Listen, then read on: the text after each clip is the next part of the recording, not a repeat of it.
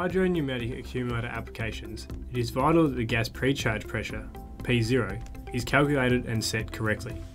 But in order to calculate what this pre-charge pressure should be, we have to start with the end state in mind. Here we are demonstrating the calculations for a hydraulic energy storage application with a bladder type accumulator.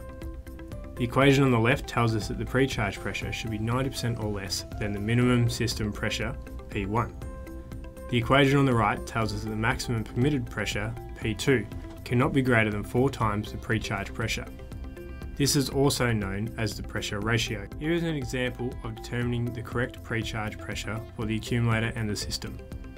With a minimum system pressure of 50 bar, we can use the 90% rule to determine that our pre-charge pressure should be 45 bar or less. And with a maximum system pressure of 160 bar, we can determine that the pre-charge pressure should be 40 bar or more. Therefore, a pre-charge pressure between 40 and 45 bar is acceptable.